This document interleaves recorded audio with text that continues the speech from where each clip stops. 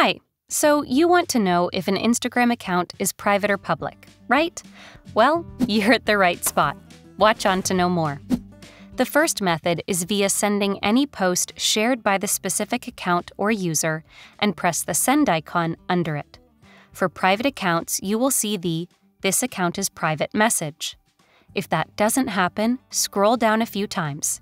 You will see a message saying, the people below may not be able to see this post unless they follow the account, which means the account or user is private.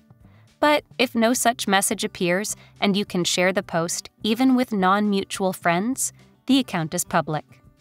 Another simple way to know if an Instagram account is private or not, if you don't follow them, is to open their profile. If the account is private, you will see the This account is private message label. Alternatively, if you can see their posts or followers list, the account is public.